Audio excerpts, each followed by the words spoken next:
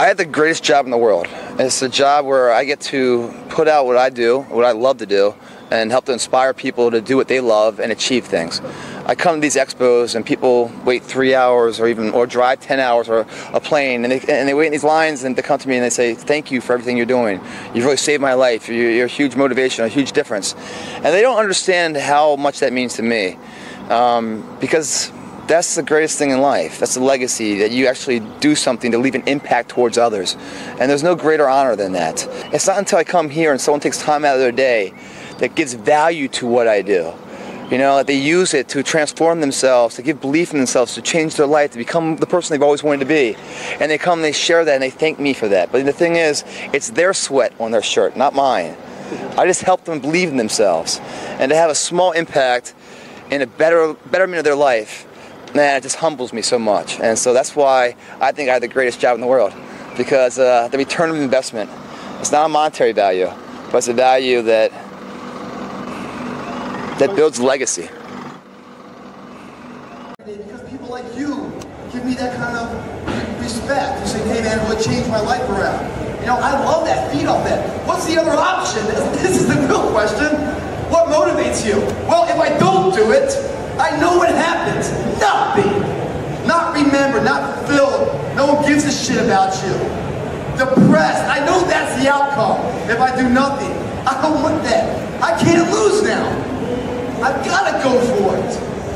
You know, the other option is not acceptable. Especially if you believe you can, you're more than you are. We all have this genetic code, guys. It's not like somebody has a, it's a seed inside of us. It's not like somebody has a big seed, someone has a small seed. It's that internal drive of who we are, the potential to be somebody in life. We all have that. Some of us have buried, buried it really deep. Some of us have a lot of fear on top of it, rejection on top of it. That seed is still power. It wants to come out. How do we nourish it? How do we nourish that? Fear and failure. Failure we learn from. Fear. Newton's third law, energy is never lost but transferred. Fear is a negative cancer It's a parasite feeding off of you. What it feeds off is your confidence. When you destroy that fear, that energy is not lost, but transferred back in a more capable, more confident person. If you're a fear chaser and you start breaking down these fear barriers, right? You become more and more confident. You're like, oh my God, man, I just faced that fear. It wasn't that big of a deal. Why have, been, why have I been running from it for so many years, man? Why am I holding myself back? Why am I saying I'm capable of more? Let me go. What else is in my? What else am I scared for? Let me knock that fucker down and then you become more and more confident, and then the world becomes your playground. You know, it's like, why, you know, what, what inspires you? What motivates you? It's like going from here to London in a car, and you're going through like the city, stoplights, you know, traffic. You know, that's a lot of people's lives. It doesn't have to be that way. You can get on the fucking highway and haul ass. You have the options. Don't put yourself in a self-paralysis state saying, this is the best it can be.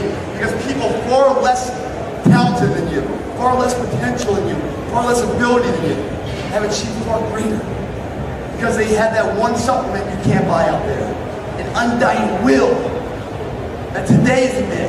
I hear of days called Monday. There's Tuesdays, Wednesdays, Thursdays, Fridays, Saturdays, and Sundays. I've never heard of the day called someday. Someday I'm going to be great. Someday I'm going to make a change. It's just saying, dude, it's enough. This is it. This is no longer acceptable. I have two capable hands. I'm not going to the gym because I'm forced to.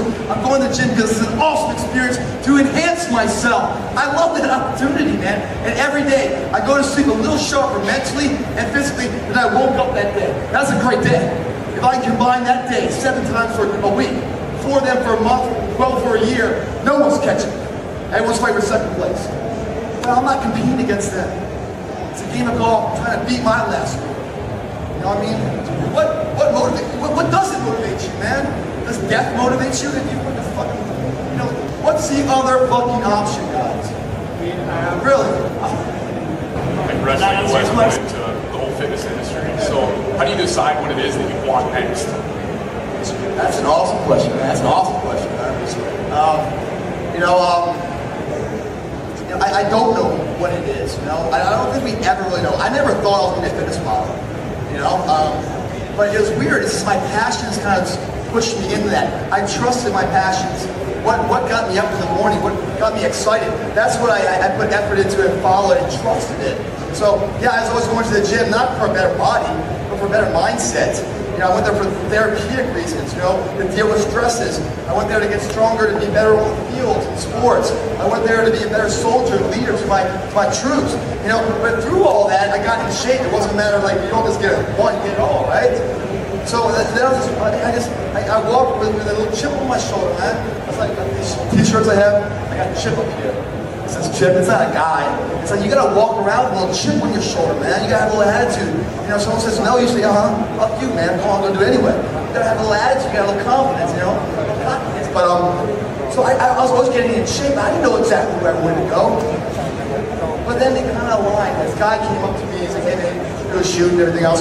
We landed a cover muscle and fitness for like a couple hundred cents. And everyone's like, oh, that's good luck, that's good luck. It's not really luck. It's like training and ability unforeseen to anybody with no one. And you, and you train it and retrain and master and remaster, hoping one day that that trained ability collides with an opportunity. That's what luck is. You know, it doesn't it suck if you haven't trained it well enough and opportunity is marching by and you can't engage it because they might not come again. Um, where do I want to go next? This is where I go in life, whenever I'm wondering this. Because um, success for me, I'm very scared of success. Very scared. Uh, it's great to achieve it, but once you achieve it, it's very scary. There's a lot of people, when I say you have to define success, a lot of people, once they get successful, are defined by their success. They get in a comfort zone where everyone's like sucking their dick and kissing their ass and everything else, and they feel like, oh, you're all this and you're all that. You're like, yeah, I am, I am. And what happens is they stop moving in a progressive state. They stop challenging themselves. And without that challenge, then there's no ability. Your potential is, is flatlined, it's plateaued. The challenges of life is what grows the body. Gym, challenges, you also have to grow your confidence. Think about this, guys. Well, go about success. So you always have to find it. So when I was so successful in sports, you know, then I bounce. When I was so successful in the military, I bounced something else. I always want to learn from new things. I love that building process. So I tried the fitness thing. Now I'm going to the acting. That's a real challenge for me. I like that challenge, you know, to get up today and compete against something. To go in there and the, the casting person spits in your face and goes, fuck you. But you don't let it absorb, you move to another one, and you keep throwing shit against the wall, hoping something sticks. The challenge of it all keeps you young, keeps you going. When the challenge is gone, the drive is gone. It's really important, guys, that when you're in the gym, you build your body, right? But I said the mind's the greatest thing. You must challenge your mind every day, too. There's a mental workout. You know, when you go to the gym, if you don't go a long weekend, you go partying, you go on vacation, get weaker, right? In the gym, use it or lose it, right? The more you use it, the stronger you get. Your body runs parallel to what your activities are. If you live on the couch all day, you kind of have a couch all day body. If you go to the gym every day, you kind of in the gym, you look like, you know, you go to the gym every day. Your body will follow whatever you are, right? You must also challenge yourself mentally that same way because your confidence is perishable too.